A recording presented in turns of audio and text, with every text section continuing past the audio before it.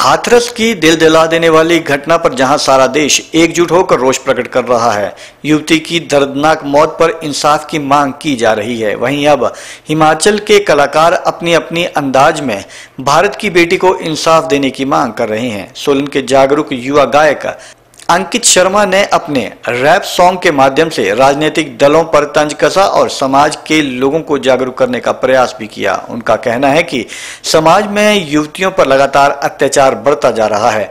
लोग कानून को धता बताते हुए दिल को क्रोचने वाले अपराध कर रहे हैं। ऐसी ही घटना हाथरस में अंजाम दी गई और अपराधियों पर सख्त कार्रवाई अमल में नहीं लाई जा रही है।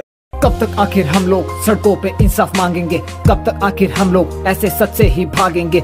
आए दिन सुन रहे हैं खबरें हम हज़ार कहीं हो रहा है रिप तो कहीं काला व्यापार। भूल चुके हैं लोग यहाँ जीवन का आधार। ऐसे ही चलता रहा तो कैसे होगा बेड़ा पार? हाँ कैसे होगा बेड़ा पार?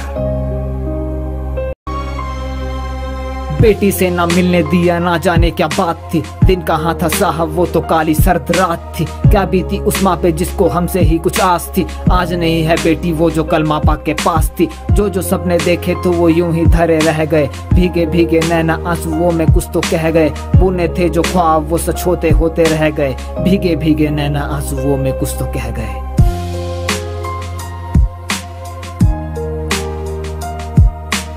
गुस्सा तो बहुत है। युवा गायक अंकित शर्मा ने कहा कि देश की बेटियों को अपराधी गिद्ध की तरह नोच रहे हैं, लेकिन कोई भी सख्त कदम नहीं उठाए जा रहे हैं, जिसकी वजह से उनकी अपराध करने की हिम्मत बढ़ रही है। इसलिए उनके द्वारा मानवता को शर्मसार करने वाली हाथरस की घटना पर उनके द्वारा रैप सॉन्ग लिखा गया, जिसके माध्यम से वे कलाकार होने के नाते अपने अंदाज में रोष प्रकट कर रहे हैं। उनकी तरह सभी देशवासी भी इस मामले में जागरूक हों और अपनी आवाज़ को, बेटी को न्याय दिलाने में बुलंद करें। जैसा कि आप सभी को पता ही है, यूपी के हाथरस में क्या हुआ?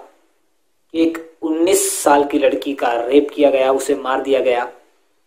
आए दिन ऐसी खबरें हमें सुनने को मिलती रहती है। ये यूपी की बात नहीं है, और भी बहुत सी जगह ऐसा होता रहता है। कुछ न्यूज़ हम तक पहुँचती है, कुछ नहीं पहुँच पाती। इसी केस के ऊपर मैंने एक रैप सॉन्ग बनाया है। आप उसे ज़्यादा से ज़्यादा शेयर करें, ज़्यादा से ज़्यादा लोगों तक पहुँचाए। अकेली मीडिया ही कुछ नहीं कर सकती।